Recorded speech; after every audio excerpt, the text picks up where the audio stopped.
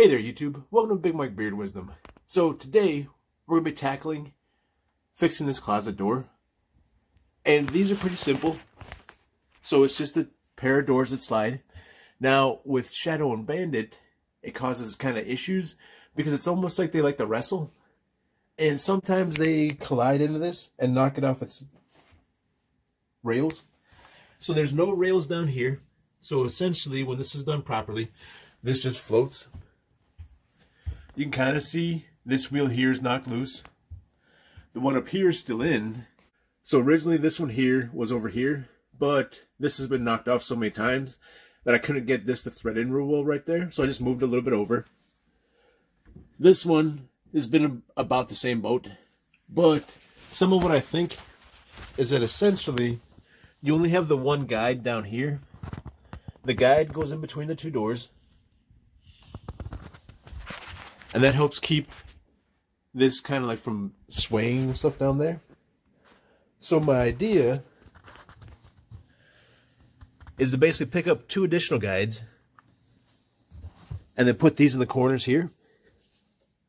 That way, it adds an extra level of restraint. So, should they be wrestling around over here doing stuff that they're not supposed to be doing, then hopefully if they bump into the door, as long as the door is closed enough that that's there, they'll be landing into that. And then instead of this acting like a giant lever with nothing to stop any motion down here, it has an immediate restraint that'll hopefully hold it in place and hopefully not allow it to kind of flex these metal rails and pop out. Because these metal rails aren't super tough. They're really simple. So all it is is that wheel just kind of goes up into the rail. So there's nothing on this side really that holds it in. There's this little teeny tiny bump right there to help hold it and guide it in. But there's nothing that really puts any force directly against there to keep it. So the other thing I was thinking about doing was maybe putting a, like a piece of wood or something up here in which case I would need another piece of wood on this outside piece as well. But I've been kind of lazy with this and haven't fixed it in a while. Both sides have fallen off. And then this one completely fell in the other day. so now's a good time to fix it. So real quick, I'll just take this screw out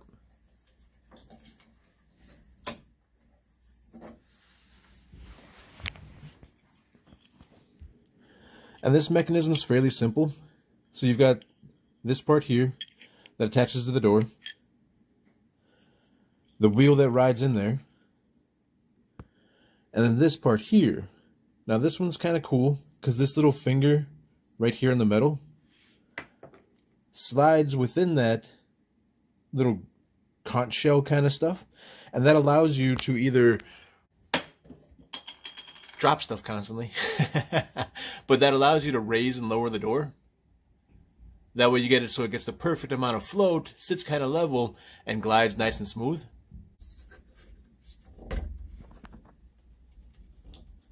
So you can kind of see that this distance appears closing as I turn this. And then depending on how you have these adjusted, will kind of be like, you know, how much it kind of conforms to the edge.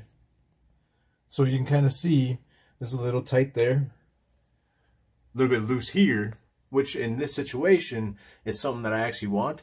Because I want this to be high down here on the floor on this edge. Same thing with over here. So I kind of want this to be high on this edge.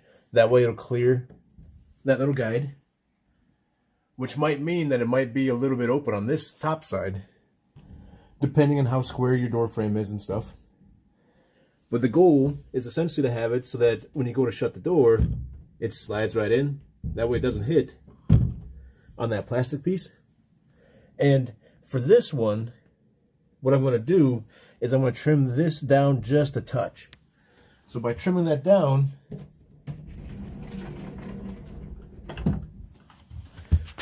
what I'm hoping to get is that when this door's out of the way, this will be smaller and not as tall. That way it reduces the the Lego under your foot effect. So you won't get hit or you won't get hurt so much when you step on it. Also, I don't want this to be, to be up real high because I'm worried that the boys will see it and then try and chew on it. Because they do have a lot of plastic shoes. So what I'm going to do is I think I'm going to take it down to about that big. So maybe a little bit more than a quarter inch. That way, should you happen to step on it, it's not too bad. And it's also hopefully small enough that the boys won't want to chew on it. But meanwhile, it should still give plenty of guidance for the door. And then I'll leave the other sides nice and tall. That way it's got plenty of support to resist the door from going in if it gets knocked. Because you can definitely tell, like when it's hanging like this, how wobbly it is. And there's probably a lot of different ways to cut this, but I'm just going to use a set of wire cutters. See how it goes.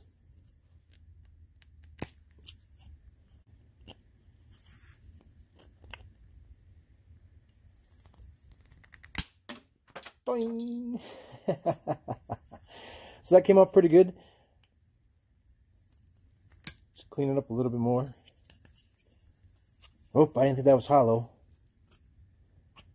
Well, that's probably fine.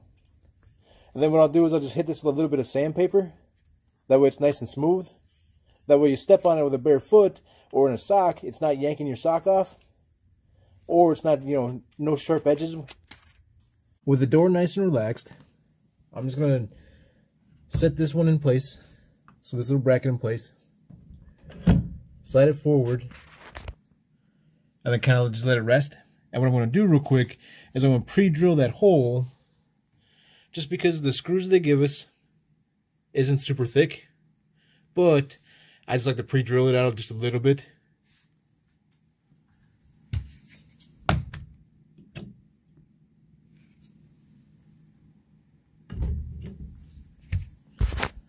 Well, once I get it where I want it.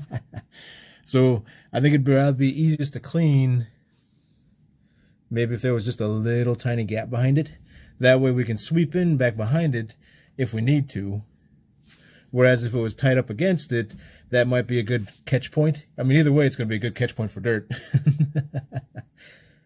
but having that pre-drilled makes running the new screw in a lot easier. You can kind of see I trimmed this down. And then with it being hollow, I figured that's going to be a really big catch point for dirt.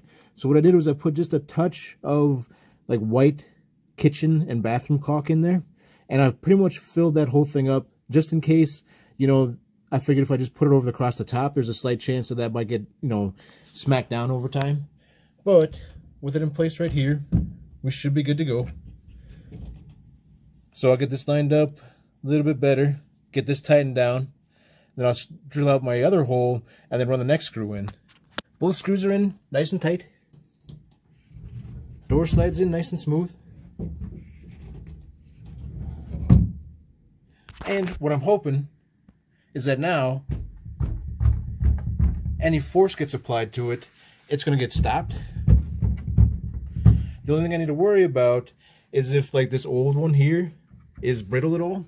But I'm pretty sure this is way better than it was before. So hopefully that's it for the doors getting knocked loose. But one never knows. And with Shadow, Shadow and Bandit both weighing about 70 pounds apiece, that's 140 pounds of wrestling dogs sometimes. but I did about all I could. So this being trimmed down, looks like it hopefully won't hurt a whole lot if you step on it. It's nice and rounded over. And then I got that little bit of silicone caulk over it. That way it's nice and clean. So that shouldn't be like a dirt catch point inside of it that you can never get any of the dirt out of. the little bit of dirt that may get back by here, I'm pretty sure should be easily swept outable. So, all in all, not a big deal, but it's kind of one of those things where it's like, oh, it's nice to get something done. so, hope you guys enjoyed the video. Feel free to like and subscribe, and I'll check you next time. Lego test. that seems to work.